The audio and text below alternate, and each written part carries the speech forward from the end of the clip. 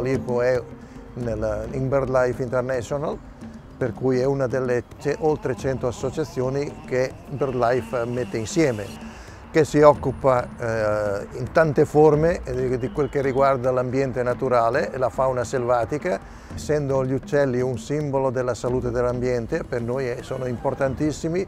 Abbiamo numerose oasi, abbiamo dei, un, oltre una decina di centri di recupero. Le difficoltà sono soprattutto di carattere economico, perché pur essendo la fauna selvatica considerata, vista dalla legge come patrimonio indisponibile dello Stato, per cui lo Stato o i suoi apparati dovrebbero essere loro volendo a occuparsi di salvaguardare la fauna selvatica. Invece sono le associazioni ambientaliste che fanno questo. C'è ancora una certa carenza di sensibilità da parte politica che dovrebbe essere quella che dovrebbe dirigere, gestire e capire.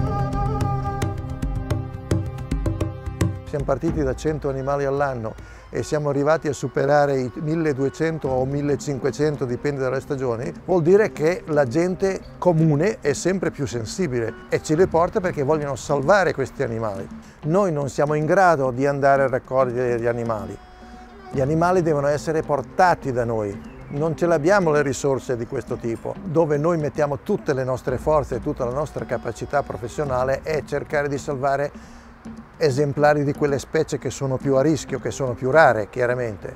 Direi dei consigli obbligatori a cui veramente preghiamo di attenerci il più possibile. Parliamo del periodo più critico che è la primavera inoltrata, cioè il periodo di maggio-giugno. Per la natura, per gli animali selvatici, è il periodo riproduttivo, soprattutto gli uccelli, una volta che hanno raggiunto una certa dimensione, anche se non sono ancora abili al volo, escono dal nido, cominciano a gironzolare intorno ma quello che possono insegnare ai genitori nessun umano è in grado di farlo, per cui portarli via se non sono in difficoltà fisica o meno è sbagliato.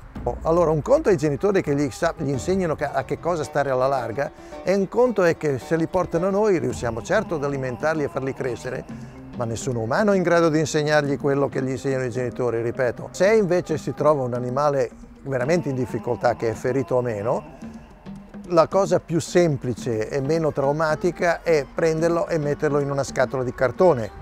Si chiude la scatola con qualche buchetto per far passare l'aria e in modo che anche, eh, diciamo, stando al buio o quasi, si tranquillizzano. Il prendere in mano un animale selvatico eh, c'è una scarica di adrenalina fortissima, per cui se già hanno dei problemi fisici non è raro che poi muoiano proprio perché c'è questo eccesso di, di, di, adrenalina. In ogni caso chiediamo anche questo, prima di prenderlo fate una telefonata, spiegate, spiegandoci qual è la condizione in modo che noi possiamo dare dei consigli preventivi e portarcelo qui da noi. Dopodiché con l'esperienza che abbiamo acquisito e con il servizio e con il veterinario che c'è facciamo tutto il possibile per salvare gli animali.